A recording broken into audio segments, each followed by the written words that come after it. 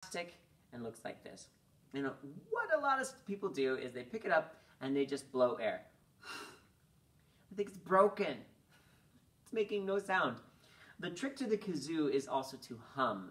So in your life, even if you don't have your kazoo, I hope you're humming. Humming songs and, and making up new tunes and melodies as you hum along in life. And all the kazoo does is it takes the sound of your hum that's inside your throat and inside your mouth and it sends it out and makes it bigger and it adds a little bit of vibration or a little bit of crinkly. There's this like, I think it's plastic or wax paper that's on there and it vibrates a little extra bit and it gives some extra sound to your humming. So you're, you're humming along, you put in a kazoo.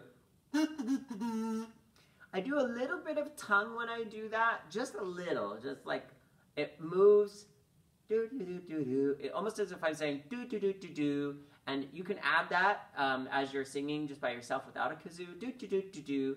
And my tongue is touching the top of my mouth and up by my teeth, and it just kind of helps stop and restart the sound.